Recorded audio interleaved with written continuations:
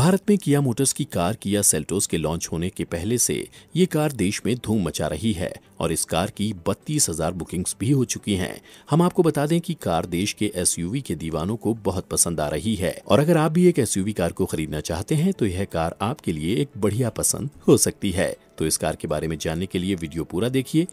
Engine की अगर बात करें तो इस कार में तीन इंजन वेरिएंट्स दिए गए हैं। सबसे पहले इंजन वेरिएंट की अगर बात करें तो वो है 1.5 लीटर का डीजल इंजन, जो कि 250 न्यूटन मीटर का टॉक और 115 बीएचपी की पावर जनरेट करता है। दूसरे इंजन वेरिएंट की अगर बात करें तो वो है 1.5 लीटर का पेट्रोल इंजन जो कि 144 न्यूटन मीटर का टॉक और 115 बीएचपी की पावर जनरेट करता है। तीसरे और सबसे पावरफुल इंजन वेरिएंट है 1.4 लीटर का पेट्रोल इंजन जो कि 242 न्यूटन मीटर का टॉक और 142 बीएचपी की पावर जनरेट करता है।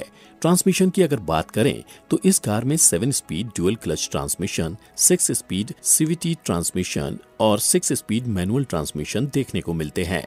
इंटीरियर फीचर्स की अगर बात की जाए तो इस कार में प्रीमियम ड्यूअल टोन इंटीरियर दिया गया है। साथ ही इस कार में प्रीमियम लेदर सीट्स दिए गए हैं। साथ ही इस कार के इंफोटेनमेंट सिस्टम में एप्पल कार प्ले और एंड्रॉयड ऑटो से कनेक्टिविटी के फीचर्स भी दिए गए हैं। और इसी के साथ, इस सेगमेंट में ये सबसे पहली कार है, जिसमें हेड अप डिस्प्ले का फीचर दिया गया है।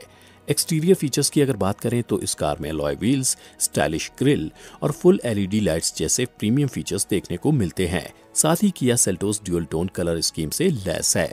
और हम आपको बता दें कि इस कार का आकर्षक डिज़ाइन वाला लुक अपने सेगमेंट में सबसे बढ़िया है। मुकाबले की अगर बात करें तो भारत में इस कार का मुकाबला Hyundai Creta M G Hector और टाटा हैरियर के साथ हो रहा है। फाइनली कीमत की अगर बात करें तो इस कार की शुरुआती कीमत 9.69 लाख रुपए है, जो कि अपने सेगमेंट में सबसे कम है।